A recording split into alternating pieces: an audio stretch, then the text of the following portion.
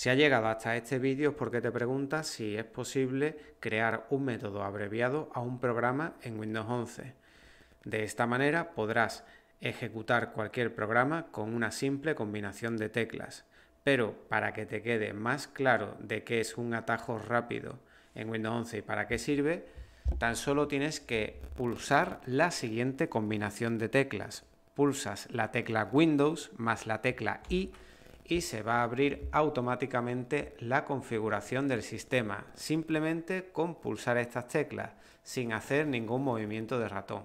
Pues bien, tú lo que quieres es crear un método abreviado personalizado para que se abra con una combinación de teclas predeterminada una aplicación que elijas. Pues bien, para hacer esto, lo primero que tendremos que hacer es crear un acceso directo a la aplicación en la cual queramos crear esa combinación de teclas para una vez que las pulsemos se abra dicha aplicación.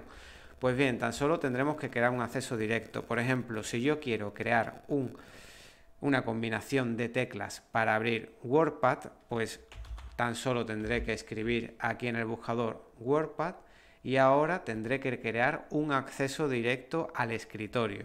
Le doy aquí a abrir ubicación de archivos y lo que voy a crear un acceso directo. Bien, ya tengo el acceso directo al programa. Ahora yo lo que le quiero crear es un método abreviado o un atajo rápido de teclado para que con una simple combinación de teclas se pueda ejecutar WordPad rápidamente sin hacer doble clic en el ratón, simplemente con pulsar una combinación de teclas. Para crear un método abreviado tendré que hacer clic con el botón derecho del ratón sobre el acceso directo y nos vamos a propiedades.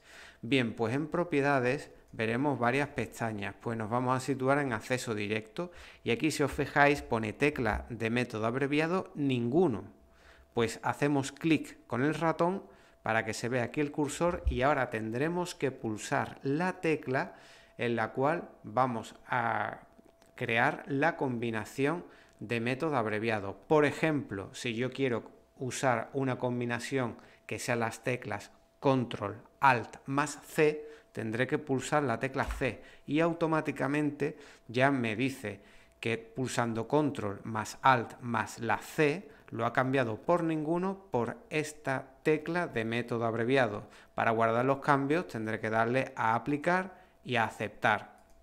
Ahora, si todo ha ido bien, en el momento que pulse las teclas control alt más C, se va a ejecutar este acceso directo en el cual pues he creado dicho método abreviado. Vamos a ver si funciona. Pulso la tecla Control Alt y C y como podéis ver automáticamente se abre el WordPad. Esto lo podemos hacer con cualquier aplicación, juego, programa, etcétera.